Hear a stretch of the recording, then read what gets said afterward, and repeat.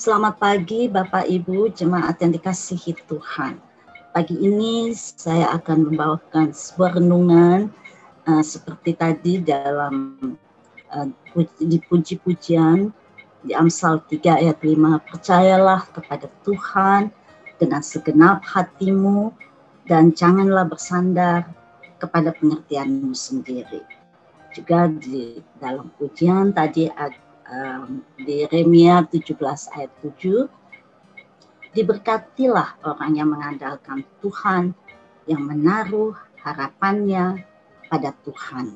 Inilah tema pagi hari ini tidak bersandar pada pengertian sendiri dan mengandalkan Tuhan.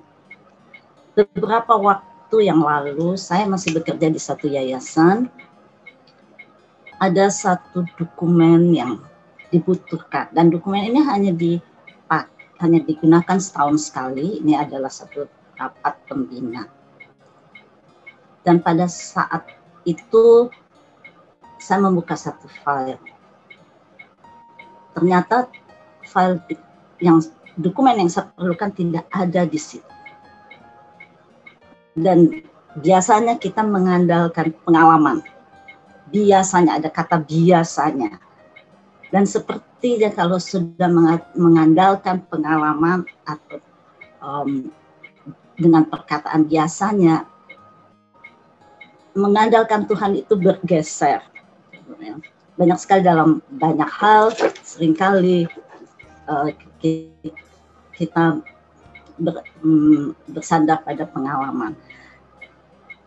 Tapi pada saat saya melihat bahwa dokumen itu tidak ada, saya buka komputer. Di komputer itu ada. Dan saya tanya dengan rekan kerja saya, kok nggak ada ya di sini? Padahal rapat itu tinggal berapa berapa jam hitungan jam. Karena saya yakin dokumen itu ada di file ini. Hampir panik gitu, hampir panik. Tapi saya ingat di 1 Petrus 4 ayat 7 ada dikatakan bahwa jadilah tenang supaya kamu bisa berdoa, kamu dapat berdoa. Jadi saya mengambil waktu sebentar untuk berdiam diri dan saya hanya saya berdoa dan mengatakan Roh Kudus di mana ya dokumen itu? Saya nggak tahu di mana, kok tidak ada di tempatnya tapi arahkan saya untuk dapat menemukannya. Saya minta diarahkan. Saya diam, saya mengingat-ingat kira-kira di mana ya. Saya, uh, kalau tidak ada di dan saya seolah-olah out of the box. Tidak di sini, tidak di situ, di tempat yang lain.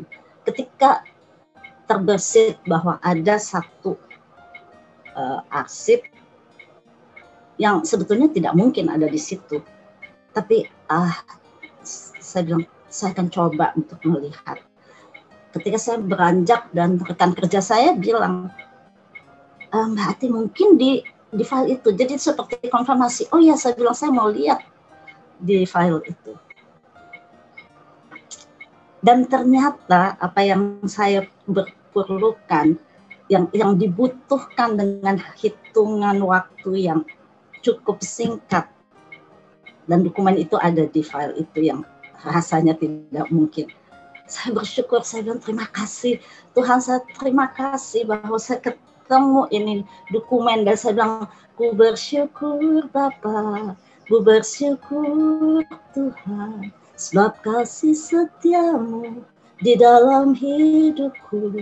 Ku bersyukur Tuhan dan situ uh, saya bersyukur.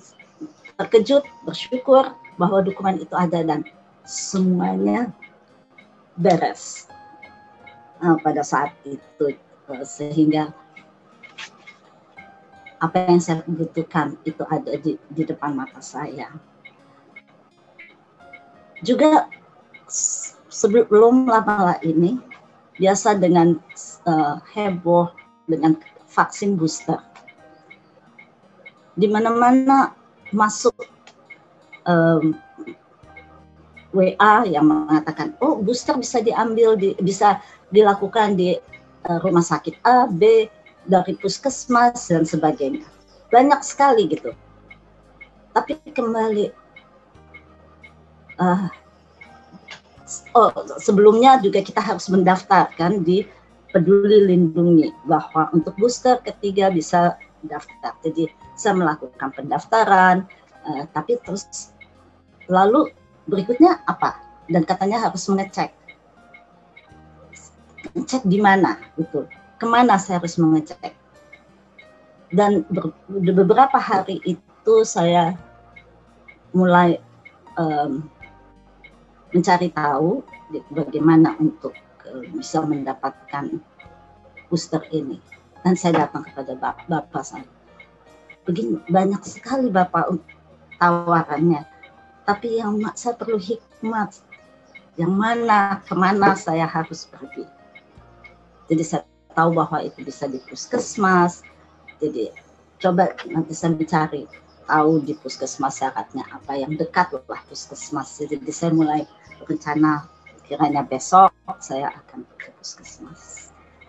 Itu kurang lebih pagi hari jam 10 kira-kira menjelang makan siang ada kawan lama meng, memberi mengirim WA kepada saya. Dan dia katakan saya baru saja um, booster di RSUD nama Rangkap. Puskesmas yang dekat rumah kamu itu loh katanya. Dan dia langsung memberikan uh, linknya. Buka linknya daftar di sini gampang sekali. Saya terpana pada saat itu. Saya baru saja mau melangkah esok tapi Tuhan sudah mendahului, sudah memberi jawaban untuk saya bahwa um, kamu tinggal duduk diam, tinggal daftar saja. Dan saya mendaftar di situ dengan saya masih dapat nomor yang mudah, ya eh bukan um, nomor awal. Saya terdiam uh, saat itu saya renungkan, benar ya Tuhan ya, seperti di 1 Korintus 2 ayat 9, apa yang tidak pernah dilihat oleh mata, dan tidak pernah didengar oleh telinga, dan yang tidak pernah timbul di dalam hati manusia, semua yang disediakan Allah untuk mereka yang mengasihi dia. Tuhan, betul, saya tidak pernah terpikir bahwa saya akan mendapat jawaban itu secepat mungkin dan saya tidak juga terpikir bahwa kawan saya ini rumahnya agak jauh dari RSUD. Ini kok dia dan suaminya justru ke RSUD ini untuk dapat booster. Nah saya bersyukur, kembali lagi saya bersyukur Tuhan terima kasih. Terima kasih bahwa dalam segala situasi, dalam setiap saat kita mengandalkan Tuhan ber, ber, berhubungan dengan Tuhan, terkoneksi intim dengan Tuhan.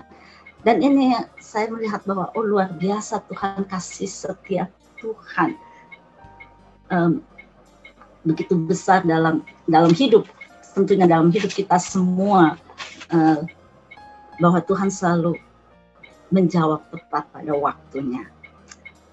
Uh, dan saya tutup kesaksian ini dengan satu uh, renungan firman yaitu di satu Yakobus ayat 17a. Setiap pemberian yang baik dan setiap anugerah yang sempurna datangnya dari atas.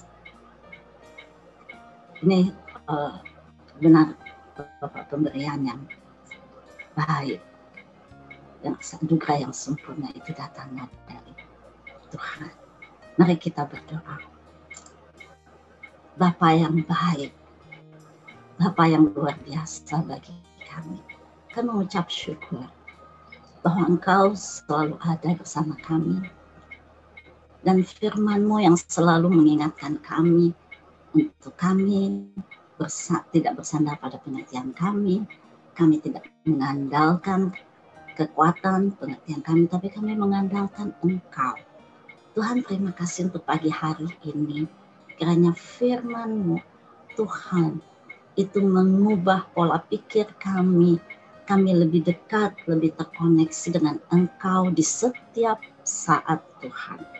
Sehingga Tuhan kami melihat anugerahmu, kebesaranmu, kebaikanmu Tuhan. Dan pagi hari ini Tuhan kami bersyukur bahwa Engkau kumpulkan kami untuk mendengar dari sebagian firman-Mu. Dan kami boleh bersuka cita bahwa firman-Mu itu berakar, bertumbuh dan berbuah untuk kemuliaan nama Di dalam nama Tuhan Yesus Kristus kami berdoa mengucap syukur. Haleluya. Amin.